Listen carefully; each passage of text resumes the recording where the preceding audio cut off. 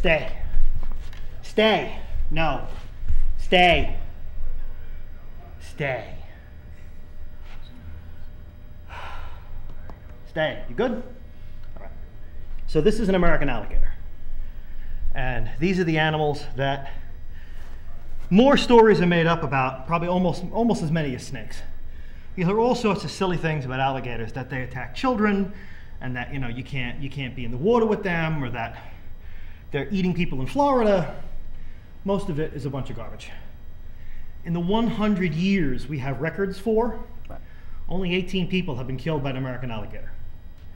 To give you some kind of sense of what that means, in the same amount of time, about 27 people have been killed by vending machines. So you're in more danger buying a Pepsi. All right? Of the people who were killed, the 18 people who were killed, none of them were children. All 18, the bodies were found. So this is not eating behavior. Why kill something if you're not going to eat it? The only reason you kill something if you're not going to eat it is if it's bothering you or there's a misunderstanding. So all 18 bodies were found, which means those, these people did something or were someplace that the two species got in the way of one another, the alligator and the human. And in those 18 instances, the human lost. Usually when people and alligators meet, the alligator loses. It loses habitat to golf courses, it loses its life to, to guns or to boats. It is caught on fishing lines. Um, there's a show on right now on TV where they actually go and they hunt these gators with these gigantic fish hooks, which is extremely cruel. Um, but because it's a reptile, nobody says anything. I mean, imagine hunting dogs with fish hooks. You know, imagine we're gonna catch we're gonna catch the stray dogs in town. We got this big fish hook. We'll put a piece of meat on there. When the dog comes, we'll just pull it, and it'll get caught in the dog's throat, and we'll get rid of all the dogs. That show would be off. The people would be dynamited. I mean, Right. but it happens to alligators, and people are like, oh, that's a great show. It doesn't make any sense to me. Why do you why do you think that that the society looks at it that way? Well, when you look at a reptile's face, Right. you don't see emotion. You don't see fear. You don't see anxiety. You don't see happiness. All you see is the same blank expression you would see whenever you look at it. So you can't read it. When you look at a dog, dog's happy, ears are up. Dog's scared, ears are down. Dog's happy, wet tags wet, tail, you know. Dog's really upset, shows its teeth. You know, mm-hmm.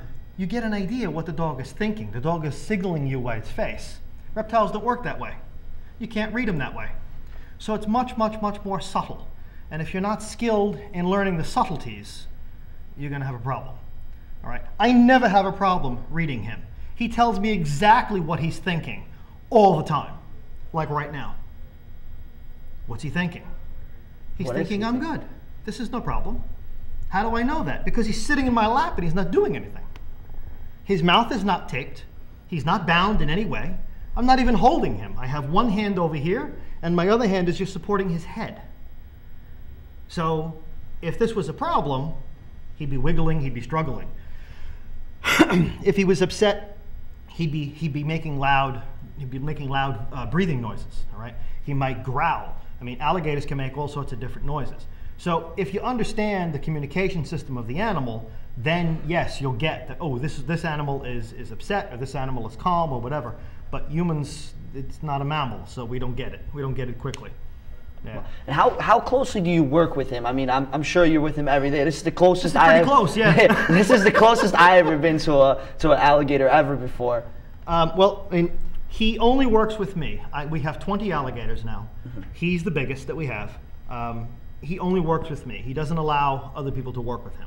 All right. My other instructors, they go in his enclosure and he's not happy about it. He makes it very clear to them that he's not happy about it by hissing at them and, and kind of, you know, holding his place and not moving. And so he really doesn't want to be bothered with other people. But he puts up with me. All right, so so it's pretty easy to work with him. But again, you know, when food is around, you don't want your hands anywhere close to him. I can touch his face without any trouble. You see, he keeps his mouth closed. He doesn't open his mouth at all. His eyes go down inside his head, which is a defense. Stay here. Stay. And he doesn't get upset. In fact, he likes having his head rubbed. No, no, no, no. He likes having his head rubbed, except he wants to like a walk.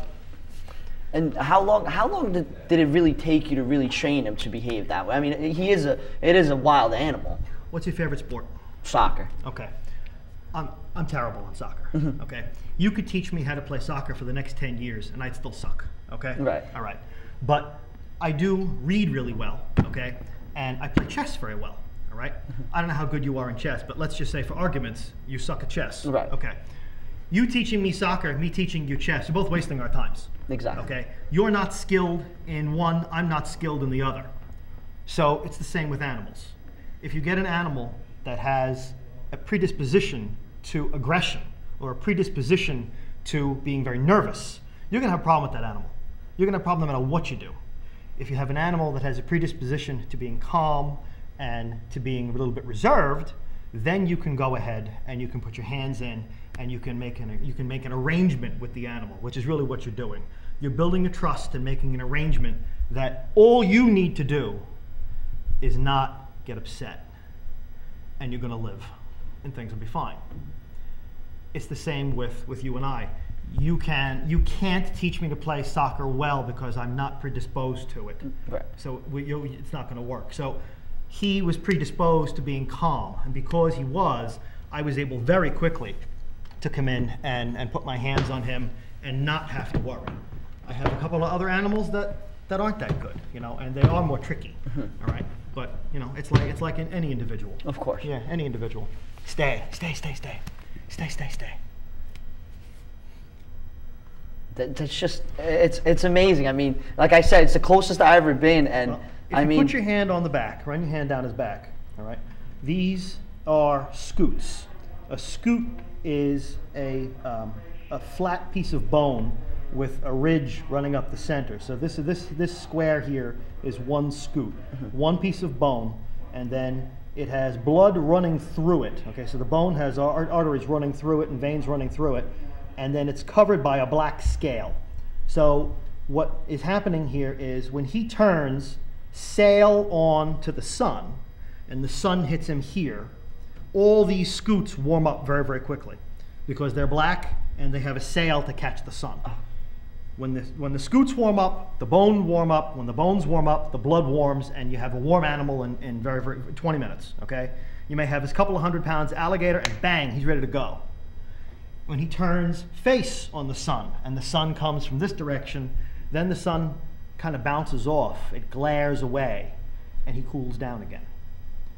So it's not just an armor, which it is. If an animal bites, if the animal's going to have a tough time getting through this, but it's actually a radiator system to both absorb heat and blow heat off. Yeah.